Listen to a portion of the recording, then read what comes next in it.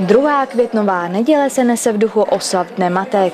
V jednotlivých obcích na Hlučínsku tak pořádají různé akce spojené s touto tématikou. Oslavíme Den matek v našem klubu důchodců eh, v Šilheřovicích. A V Šilheřovicích se v prostorách místního obecního úřadu mohly potěšit všechny maminky, a to nachystaným kulturním programem. a náš program je eh, ti nejmenší jako každoročně, protože to je milé, hezké a potom vystoupí starší děvčata.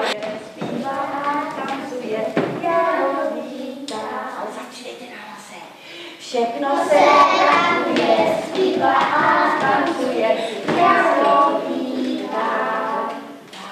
Koníčka, že jo?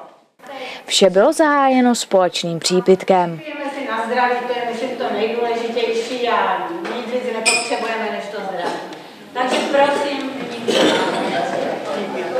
na zdraví.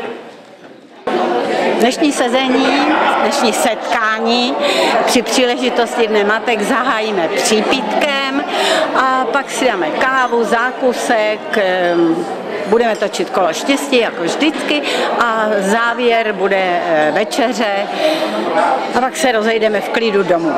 S plánovanými projekty a událostmi v obci seznámil přítomné starosta obce, který všem maminkám přišel také popřát. Rád bych jim popřál pevné nervy, pevné zdraví a samozřejmě ať v jejich ratolesti plní spoustu radostí a přání. Eh, Celá ta práce je záležitosti výboru, kde je nás pět žen a ty vlastně musí připravit eh, sál, občerstvení, prostě všechno, co k tomu patří.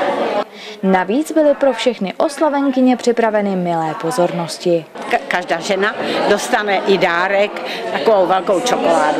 O, Co bych popřála eh, hlavně teda těm maminkám, babičkám zdraví, nic jiného nepotřebují.